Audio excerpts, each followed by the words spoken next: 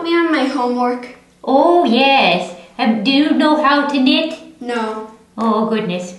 We'll work on that later. Uh, let's see. Oh, what a pretty map. It must be geography. I was very good at geography. Let's see. Oh, let's read together. Uh, this is the. Oh, no. Well, that's not right.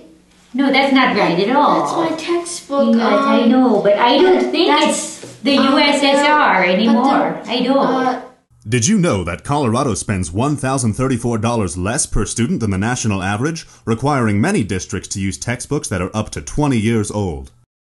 Um, hello? Uh, do you know if it's still the USSR? I believe it's Russia. Oh, Russia! Yes, that's what it is, see? but Let's that's write my textbook. Um, Russia. you shouldn't write in my Well, but now it's right.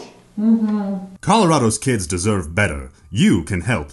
Sign the Great Education Colorado Action Petition at www.greatedaction.org. Oh, and that's wrong too. I think that's uh, now uh, a Bliksmekistan. No, Verstalistan. Kurovabadad. Kurstan. I think that's right. Let's put that in there.